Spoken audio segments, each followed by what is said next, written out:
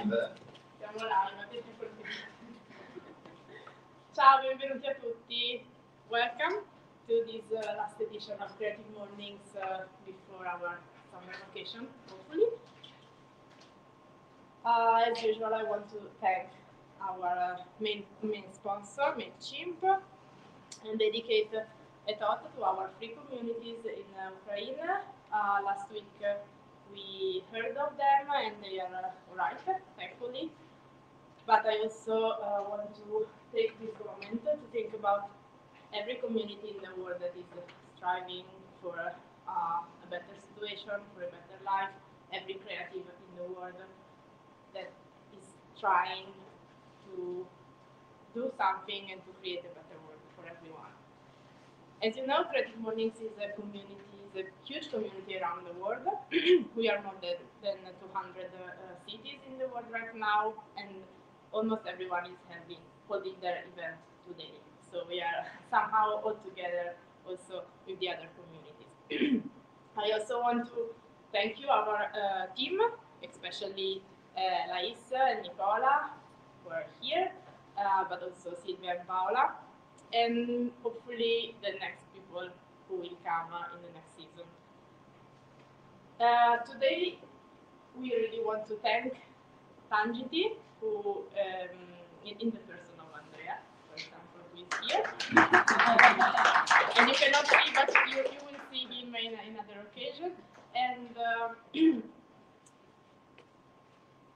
Tangity is a great design studio, but for Creative Mornings is also a great group of friends because they helped us creating, recreating our community after the COVID uh, stop.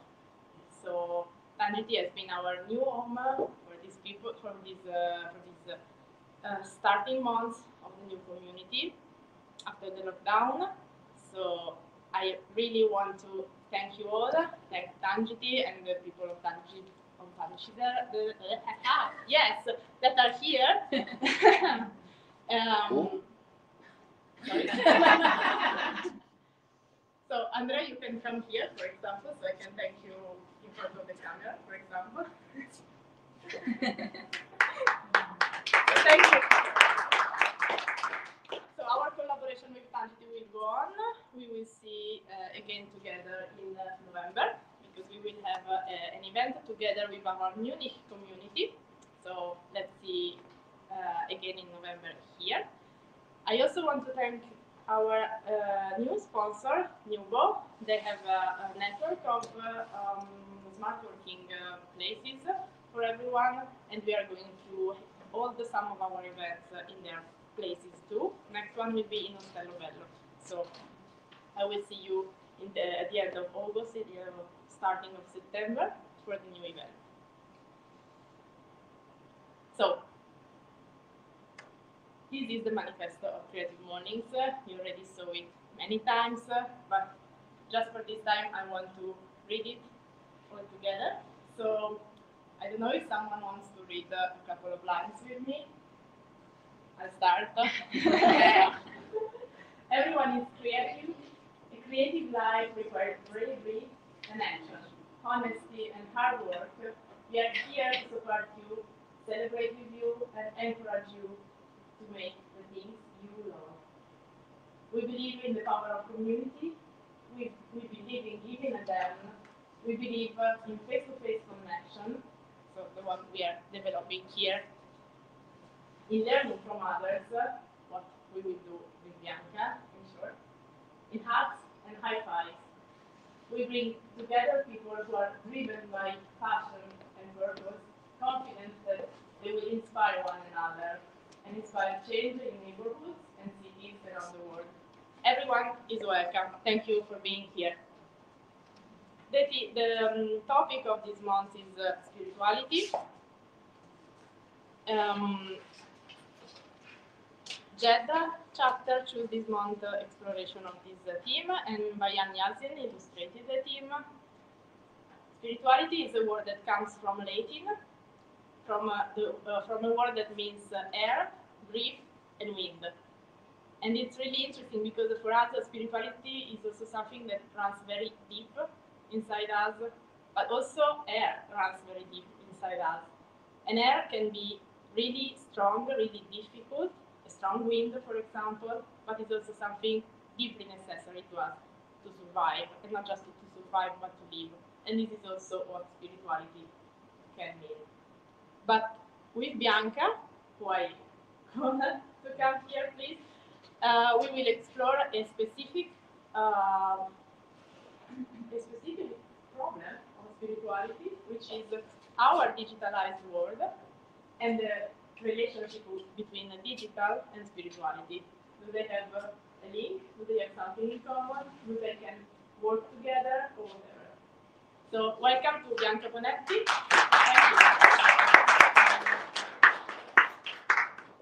Super.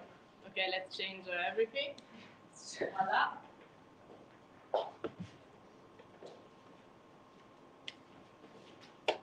Okay, does it work?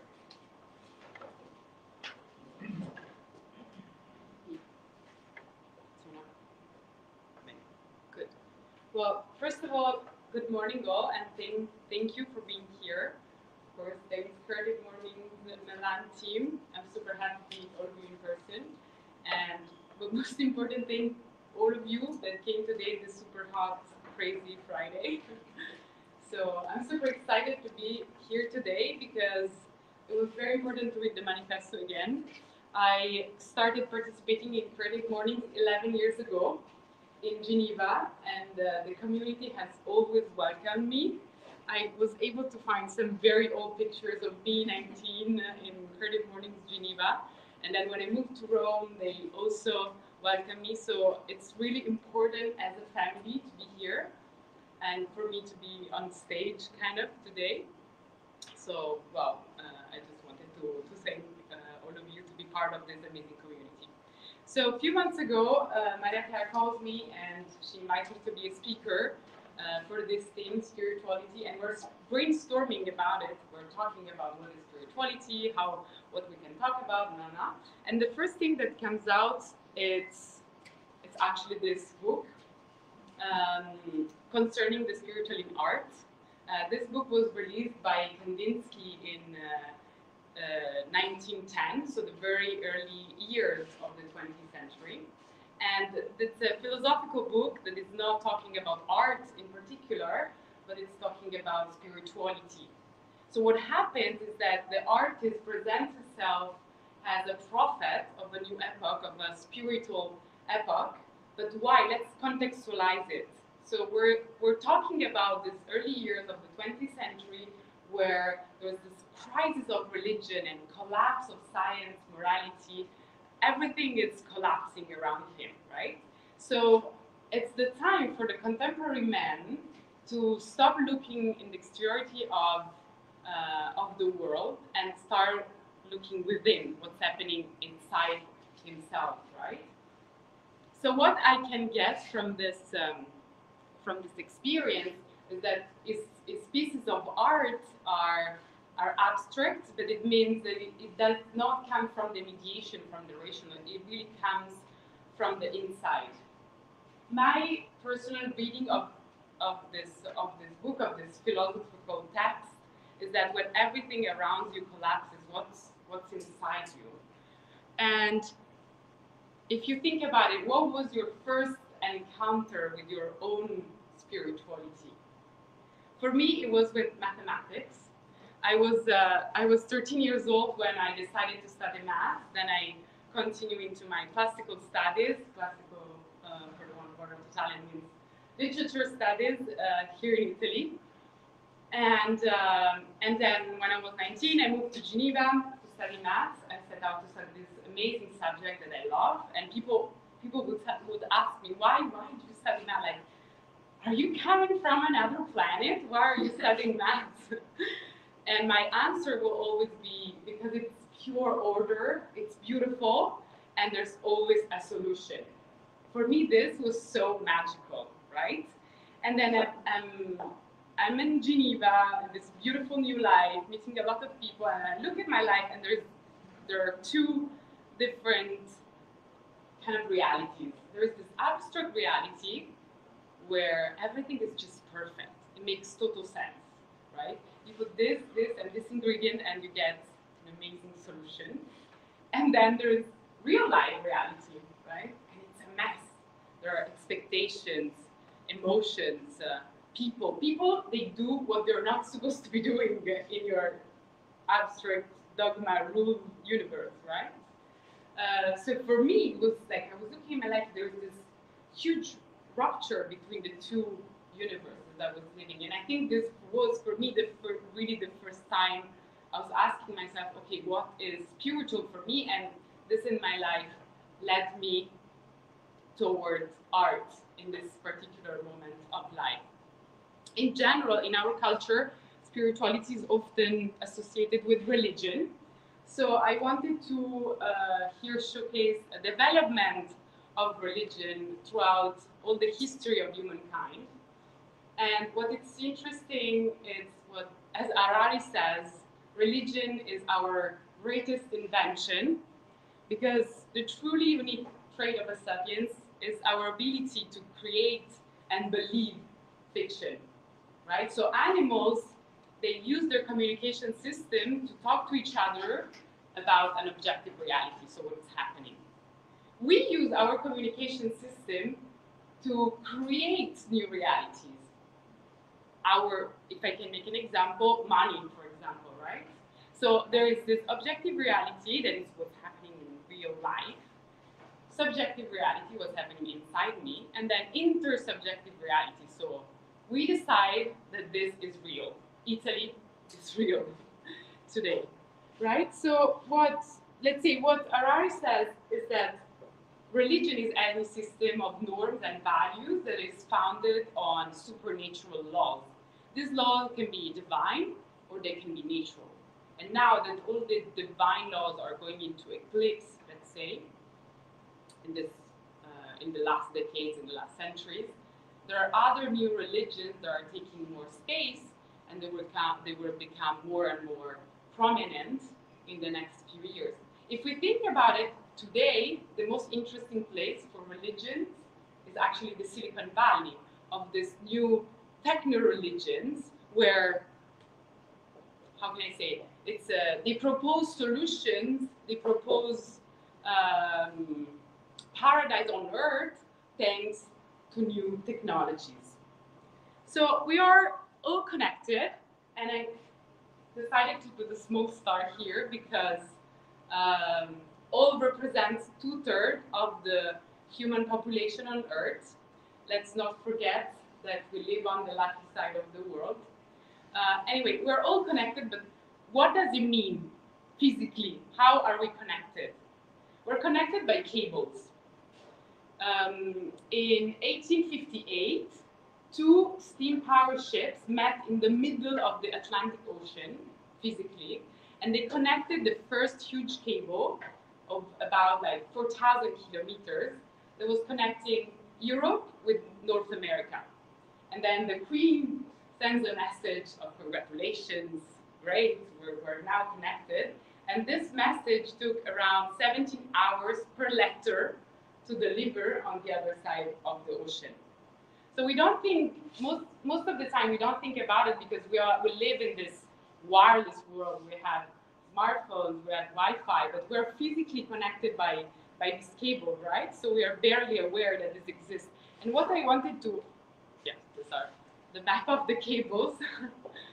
what I wanted to um, to highlight here is the current speed of these cables. This the information that travels through these cables travels at the speed light, so it's super fast. It's super fast. We're talking, uh, we're connected and we're fast. Speaking about speed, um, I'm a speed skier. It's a, it's a great discipline. I was able to uh, get second medal in the world in uh, women's speed downhill in 2017. This goes for the next, uh, the next uh, speech. Um, sorry, I'm back to speed.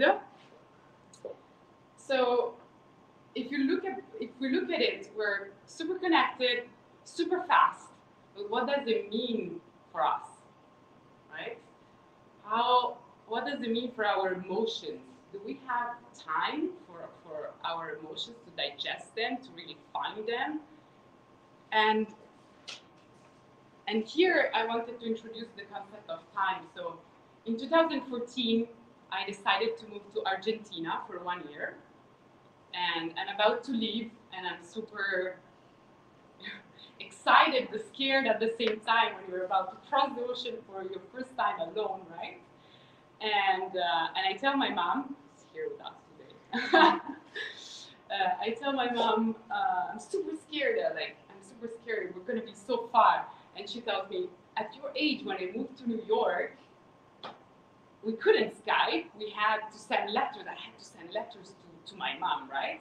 And this made me really reflect about the fact that you had, you have like you have this time that you sit down and you're like, okay, I'm gonna think about what happened, and then you write down what happened, what happened inside you, right? Your emotions, and you have all this time to to digest it. Um, and in Argentina, for me, it was particularly interesting because I relearned the concept of time. In general, in the emerging market where I could experience and live, there's so much time for everything. But it's not that they have more time, it's they use time differently. In this part of the world, we're always late. I don't know how we're able to do that, but we're always late. We're always running. We're always in the next thing. And we're always comparing each other to the other people who got the promotion before us, who got the degree before us, the house, the kids, and we're always like, man, I'm I'm so late, I'm so late, and we're not we're not here, we're not in the thing, right? In general, at least, my first experience encountering this presence here in the now was in Argentina because there was no certainty about the tomorrow, right? It's not easy to live in a situation like this It's easier for us as human beings to project and to make plans, this kind of like certainty, right? But still, for me, it was a huge learning because it was super surprising coming from Switzerland to Argentina and then sharing, I don't know, do you want to go to the cinema next week? And I'm like, yes, that's local. Next week? Does it even exist, right? So it was beautiful to relearn the power of, of now, to be here, be present. And we are, this is me in Argentina, um, we are connected and at the same time we are disconnected, right? What does it mean? It means that there is always an intermediary between us unless we there is this human relationship. So before, of course, interaction was person to person, and now most of our interactions, think about it during the day, it's person, screen, screen, person. Mostly now with COVID and we're having all these calls online, meetings online, right? And this this filter, this uh, this screen is actually a filter. Uh, it's a powerful tool. Like we can access huge knowledge. We can navigate the web. We can have access to the. If you think about it, the, the whole human knowledge is online, right? And we can connect to everywhere and we can talk to everyone. But at the same time, it's a filter. So let's, think about, for example, hate speech. Hate speech online is so easy because you're anonymous? It's so much different when you meet someone and you have to hate them in the face. When you're online, you're anonymous. You can even hate ideas. You can hate you because you're a woman. You can hate you because of your religion, of your background, right? So for me, the real power of this digitalized world is the ability to create human connections outside of the digital itself. So one of one of my main, um, let's say, takeaways in these years of the internet was couchsurfing. Uh, some of you might know it. It's a platform where people who have a spare bed and a spare sofa, they just they just welcome you at your at your at their place, right? And I traveled the whole South America, Argentina, Chile, Uruguay, Paraguay. I traveled all the Balkans, Albania, Kosovo, and then Israel, Italy, every, pretty much everywhere I've been. I used couchsurfing because it was a tool for me to meet the local people and create these human connections. The screen, I wanted to bring here this artwork. It's a screen uh, produced by um, Fabio Mauri. Fabio Mauri is a famous Italian artist. I used for him when I moved to Rome. And um, he's one of the most prominent voices in the Italian post-war artistic period. And he produces his screen. So his store itself, he was born and raised during fascism, and then fascism collapsed, right? So all his ideologies collapse as well, and he's so lost that he needs some ideology. So he goes into into religion. He becomes a priest, and then again he has these strong ideologies, and then he realizes that it's all for him in, in his mind. It's all fake, and we need to be crit- we need to criticize those ideologies. We need to go further. We need to go beyond. So his idea of the screen is always representing okay what, what there's beyond these ideologies and he represents the screen as empty because it's the possible projection of, uh, of everything, of every new beginning. And talking about new beginnings, um, in 2019, I really needed a new beginning in my life, so I moved to Africa, where I produced this documentary. I briefly wanted to show you some um, some footage Um, and people always ask me, how do you live in Africa? And it's a funny question for me because you live like anywhere else. um, but in the sense that the people are very curious, they don't know what's happening there. Uh, Africa is huge. It's like uh, 54 countries, different religions. It's like more than 1,000 spoken languages. So it's very different. And uh, well, I moved to, to Ivory Coast. we shoot this documentary. It's about a Ghanaian startup producing vaccines for animals. So again, thanks to uh, thanks to this digitalized world, we were able to raise her voice and to be seen, uh, seeing what's happening there and uh, how we can deal with it. Um, so, in general, uh, let's say this digital world can give voices to people who don't have it naturally because they don't have access, right? Um, and um, in Africa, at one point, I used to work for a, um, for a Swiss educational company that invests in tech startups in emerging markets. And uh, at one point, I'm uh, having a bad day at work. I don't remember why. I just had a bad day. Sorry. Need to. Great. I'm having this bad day. Uh, don't remember what happened exactly. And uh, I was super upset. I'm walking home, right? It's Abidjan, it's a beautiful city. It's very green. It's built on a lagoon, but still, it's an African city, so you have this smelly sewer, you're walking in the street, it's all dusty, right? So you're like lost in your negative thoughts. And, uh, and there's a girl in the street and she's uh, wearing this beautiful wax and she's carrying her baby in, on her back, right? And I think she's saying goodbye to someone. And then this someone replies something and she started laughing. She's laughing like crazy. She's filling the whole road with her laugh, right? And she really made me smile. And I thought, why? Like, I had today, I had a hot shower, I had a warm meal, I had a clean toilet, and I had the roof. There is nothing to be upset or worried or anything about it, right? And she, like, I realized in this moment how contagious was her laugh, how a smile can be contagious, uh, a laugh, an act of kindness, everything we give is contagious. So even when we give negative, we receive also negative, right? So let's contaminate the world with love and with uh, creativity and uh, with all these beautiful, uh, beautiful uh, weapons, if I can say, love weapons, right? Um, so before uh, Maria Chiara mentioned that spirituality comes from Latin spirare, that's our root of respirare, so our uh, breathe. And um, this spirare actually it's a it's a light blow, like, right? It's the blow that means we are actually alive. So our body is alive because it's blowing. And it makes me think about, well, I studied ancient Greek, and in Greek you say psyche, right?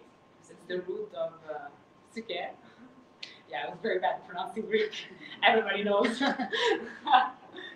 and uh, so the idea is uh, that there was no disconnection between body and soul. In the ancient Greek uh, mythology, there, the, this unique thing. There is the body with the with the blow, and then there's the body that is dead. There's no separation. Oh, this is spiritual, and this is material. That is a huge separation that we have in our modern society, right? But I wanted to talk about this myth of Amore e Psyche. This uh, speech by Canova that's in St. Petersburg that I went to see is one of my favorite uh, stage works of art. And the story of this myth represents the soul that's seeking love. And with this love, with the God, Cupid is the God, um, it's reuniting with the divine unity, right? Divine unity. What is the divine unity? What is for you the divine unity? For me, it's nature. It's nature because it's an incubator and source of life. And for me, being spiritual is being able to um, experience nature in, in its own manifestation. So when I'm, um, for example, when I'm surfing a wave, I am myself. I'm becoming myself the wave. Or when I'm kiting or sailing, I'm, I'm becoming the wind. Or when I'm swimming underwater, I am this endless blue sea that I can't, I can't see the end. And then, of course, when I'm skiing, that is my favorite, I'm becoming the mountain and pure and white and immense, right? So it's this, it's this, for me, in this moment, my soul is actually touching this immensity. And somehow, um, it became kind of, kind of like a life call to me to make uh, more women experiencing nature, empowering them. So I, I launched my business, Girls Went Out, and the idea was to bring more women into nature because it was spiritual for me, and I want them to be able to feel free in the nature and to experience all the nature manifestations. Um, so we live in a world where I believe digital should be a tool for us to reinvest in human connection. And for me, this spiritual side is what I found in nature. But of course, my call for you today is to really understand what is spiritual for you, what is really that touches your soul. Thank you very much for your time.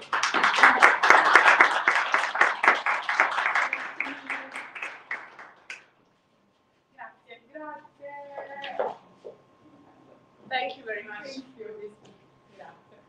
So, uh, I will say goodbye to the people in the streaming uh, session, and maybe we have also to stop it here. And I think we can switch to Italia.